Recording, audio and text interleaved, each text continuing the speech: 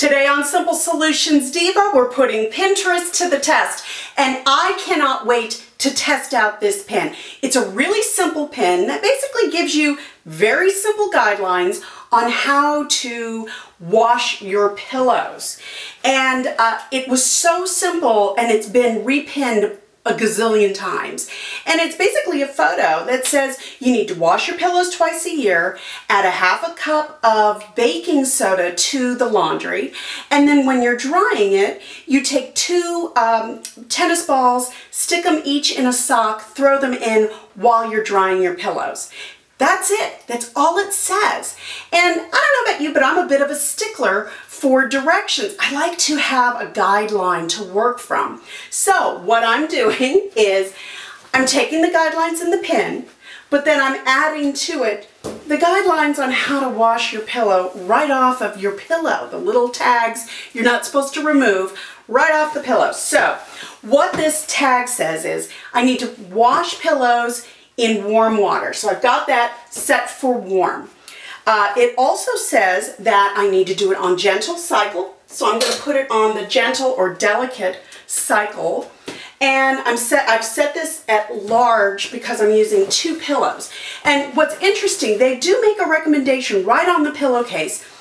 Don't do just one pillow. Do two pillows at least so you can balance out your tub in your in your washer so that it doesn't become unbalanced and make that weird boom boom boom noise while it's spinning. So following the directions off of the pillowcases, I'm putting them in, I'm balancing it out, one on one side of the tub, one on the other. Okay, so I've got my pillows in there. By the way, these are polyester filled pillows. They are not down pillows. I have no idea, as, as you know, putting Pinterest to the test, I don't test these pins before I videotape live. So, um, I'm using polyester. I wouldn't try this with down pillows. I've never, I've never, I don't even have down pillows. Anyway, so the pin, I've got them in there. The pin says add a half cup of baking soda. So I've done that to your regular detergent. So I'm just adding my regular detergent in here. And I am going to start this. We've got that.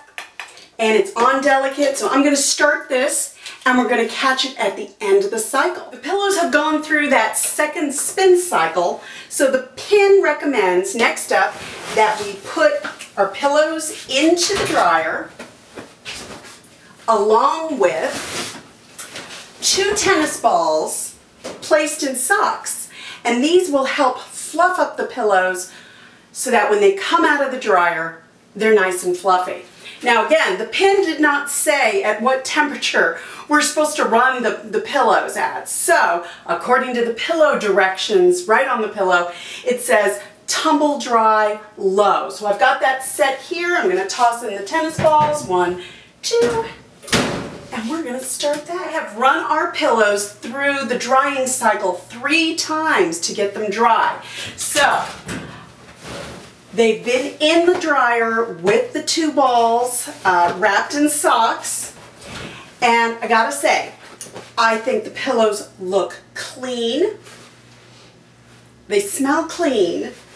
And I think they look properly fluffed up. Now, granted, this probably wouldn't work with super old, super flat pillows. It, you just got to get rid of pillows sometimes, but this is a great way to freshen up a pillow a couple times a year. I think this is a very good pin. So, thank you for joining me, and we will see you next week on SimpleSolutionsDiva.com.